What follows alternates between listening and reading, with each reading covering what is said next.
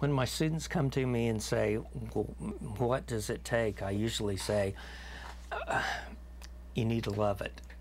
You, you have to desire becoming good at what's going on.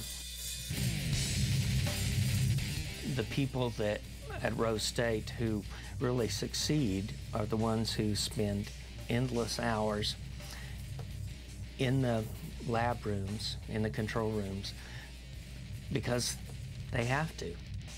Some people find out they don't want to spend that much time doing it. Other people just live at the studio. I really like it. He's, he's the first teacher I've ever had that really just kind of like, sparked my interest into something so much to make me kind of just get into it. And it's kind of like, I don't know, I couldn't really see myself doing anything else now because I like this so much.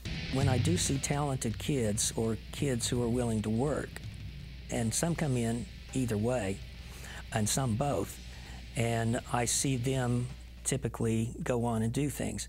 I do warn them that they may have to do more than one thing to make a living, a comfortable living. But I also tell them if they want to do it enough that they'll figure out a way to do it.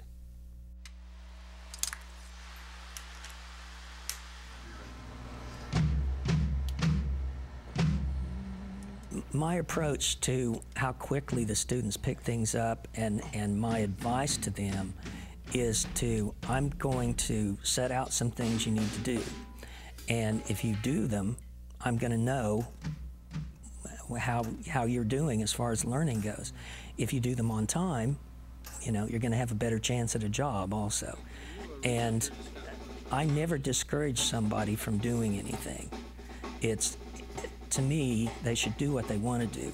And, and if nothing else, they're going to learn how to maybe make their own songs in their little compact studios and, and get an, a, job as, as, an accountant somewhere and, uh, and make more money than I would ever think about making. Here we go.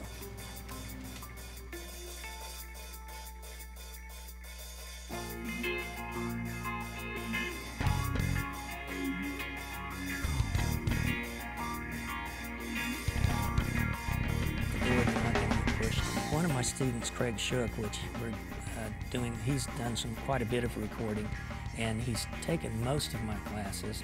He's an example of someone who lives and breathes it. I couldn't really imagine going out there to do anything with music without knowing what I've learned from going there.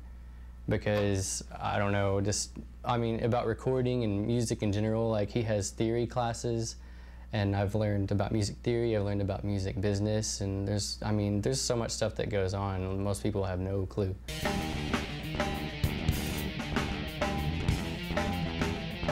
Craig has been out a few times. Um, this semester, actually, we couldn't find a good time for their band to record at Rose State, so we just made it a Recording 2 project to go out to my place and do it. He didn't get to do the engineering, but he's, he's been working on it since. I haven't touched it since I recorded it.